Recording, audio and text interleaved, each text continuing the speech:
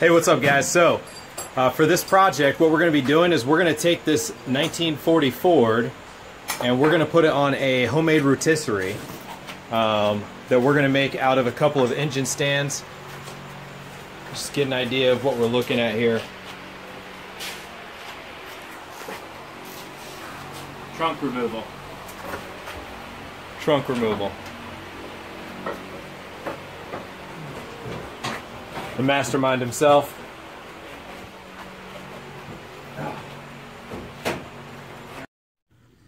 Okay, so this project was a ton of fun. First thing we did is we went ahead and we uh, we actually ground off the carriage bolts that were holding the body to the uh, frame, and then we started bracing the interior. All right, there goes Maddie.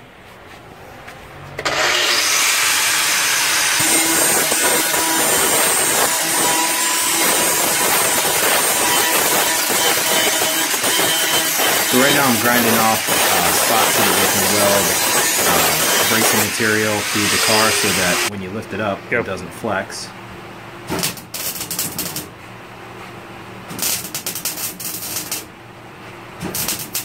And then we went ahead and uh, welded all the, the uh, cross braces into place. And that way when you rotate it, you don't get any torsional forces that can, uh, can mess the car up. After the car was all structurally braced, we then attached the uh, the rear end of the car to the rotisserie by fabricating, um, which is coming up in the next clip here, and then uh, and then we jacked up the front of the car and rolled out the chassis out from underneath the car, and then it was just supported on the bracing that we did on the rear uh, which actually turned out really well. We and we used angle iron to clamp it from the top and the bottom, so it's not just uh, welded. Um, and so everywhere that we put the angle iron, we actually braced it with uh, with a piece on both sides, and then welded and attached to that. After shooting this, we attach long braces down below so that it doesn't tip over when you rotate it. All right.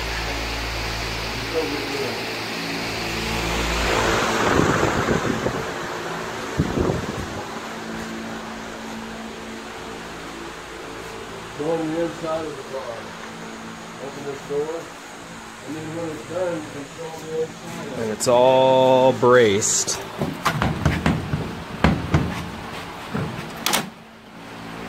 On the inside for structural integrity. You know what's funny? All right, so home fabricated rotisserie going live for the test. You want him behind her? Alright, good. That's alright, I got it. Just right here, right here. On that post. Good. Coming our way. One, two, three. Looking good, guys. Fucking A. Look at that bad boy, huh? Sitting right on the jack Look at that bad boy. Are you let, did you let go? Yeah. No hands, Ma. Here, Dad. That's Hell great. yeah. Put the pin back in it. Woo! Then talk to him, man. Yeah! Talk We did it. Thanks for watching, guys. Please subscribe.